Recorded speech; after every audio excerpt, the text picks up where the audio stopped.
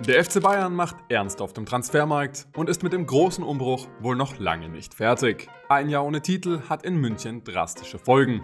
Das kann Thomas Tuchel bestätigen. Aber nicht nur auf der Trainerbank findet sich mit Vincent Company ein neues Gesicht wieder. Auch am Personal wird ordentlich gearbeitet. Den weiteren Bayern-Plan zeigen wir euch heute endlich mal wieder mit einem Transfer-Special.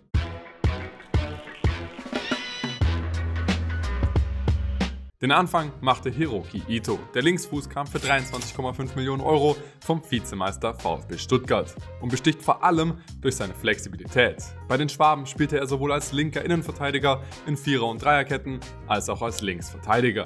Nur wenig später dann der erste von zwei Transferkrachern.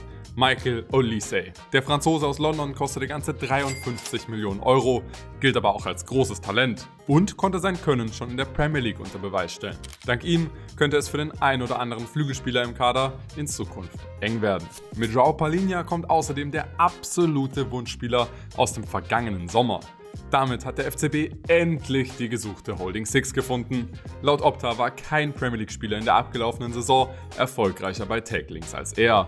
Und das mit riesigem Abstand. Mit 159 lag Palinha 50 erfolgreiche Tacklings vor Platz 2. Klar, dass diese Werte auch was kosten. Insgesamt kommen die Bayern mit den Transfers von Brian Zaragoza, Nestor Irankunda und Amindo Sieb auf Transferausgaben in Höhe von 145 Millionen Euro.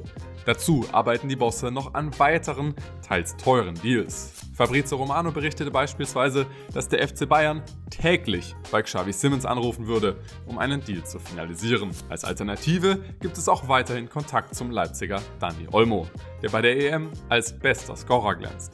Um Jonathan Tah gibt es ebenfalls seit langer Zeit Gerüchte. Der Transfer zieht sich aber aufgrund der hartnäckigen Forderungen von Bayer Leverkusen. Die Werkself beharrt wohl auf rund 40 Millionen Euro Ablöse bei nur einem Jahr Vertragslaufzeit. Insgesamt ein heftiges Pfund an Ausgaben und möglichen Ausgaben, dem mit Malik Tillmann bisher nur ein fester Abgang entgegensteht. Aber nicht mehr lange. Matthias de Licht hat wohl schon früh die Freigabe für einen Transfer bekommen. Manchester United ist der konkreteste Kandidat.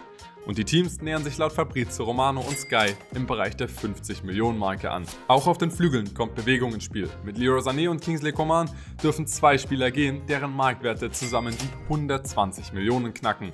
Einen Abnehmer gibt es bisher aber nicht. Auch Serge Gnabry dürfte bei einem passenden Angebot gehen.